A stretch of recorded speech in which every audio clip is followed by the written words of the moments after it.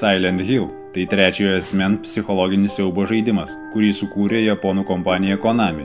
Žaidimas 1999 metais buvo išleistas pirmąjį Sony PlayStation konsoliai, kur serija ir pradėjo savo kelią. Žaidimo veiksmas vyksta tyliojoje kalvoje. Tylioji kalva tai nuošalus miestelis Junktinėse valstijose. Prieš septynerius metus čia įvyko didžiulis gaisras, kurio vaizdai dar ir dabar drumšia čia gyvenančių žmonių prisiminimus. Baigintis vasarai šią vietą palieka turistai, pagrindinis gyvenvietės pajamų šaltinis. Tačiau atostogos baigėsi ne visiems. Haris Meisonas, septynmetės dukros Sheryl prašymų, nusprendžia čia praleisti dar vienas atostogas. Būtent šiame miestelėje prieš septynerius metus jis su jau mirusia žmona pakelėje rado paliktą kūdikį, kurį nusprendė įsivaikinti. Nespėjusius prasidėti atostogų malonumus sudrumšė neplanuotos situacijos. Automobilio gedimas privertė gaišti brangų laiką, o tęsti kelionę šeima sugebėjo tik sutemus. Netikėtai visiškai tuščiame kelyje jį aplenkė policijos motociklas. Haris žvilgteli į sėdinčią šalia dukrą, o pakėlęs akis nustemba, kad šalikelėje guli tas pats, ką tik jį aplenkęs motociklas, tik be vairuotojo. Staiga automobilių žibintų šviesoje priekyje pasirodo žmogaus siluetas. Haris suprato, jog laiku sustoti nepavyks. Atgavęs sąmonę, Haris pastebi tuščią keleivio sėdynę. Jis greitai išsiropšė iš automobilio su viena mintimi rasti Sheryl.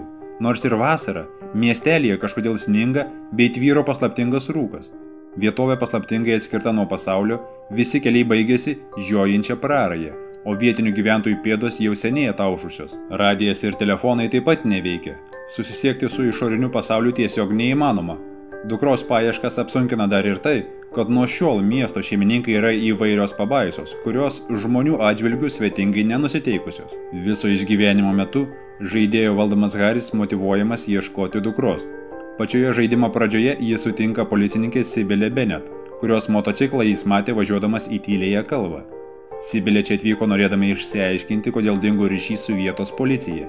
Ji vienintelė suinteresuota padėti Hariui surasti savo dukrą.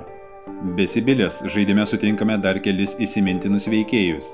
Dalija Gillespie – tai pagrindinė antagonistė, vietinė sektos vadovė siekiant į pasaulį atvesti blogio angelą. Sutiksime ir kitų sektos pasiekėjų, ištikimai tarnaujančių savo vadoviai. Žaidime daugiausiai laiko praleisime ieškodami užuomenų, kur gali būti Hario dukra, bei kaudamiesi su priešais. Priešų įvairovė čia ne per didžiausia. Dažniausiai teks kauti su skraidančiais monstrais arba pasiutusiais šunimis.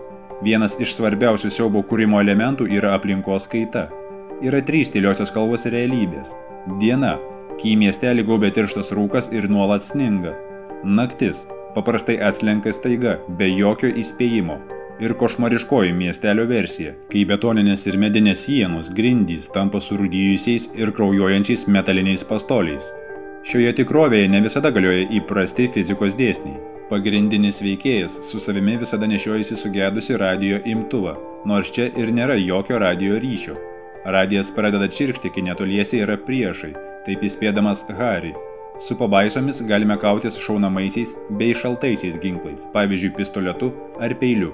Ginklų pasirinkimas čia vėlgi nelabai gausus. Priklausomai nuo atliekamų veiksmų, žaidimas turi penkias skirtingas pabaigas. Taip pat žaidimas naudoja 3D grafiką, kuri 1999 metais dar buvo didelė naujovė.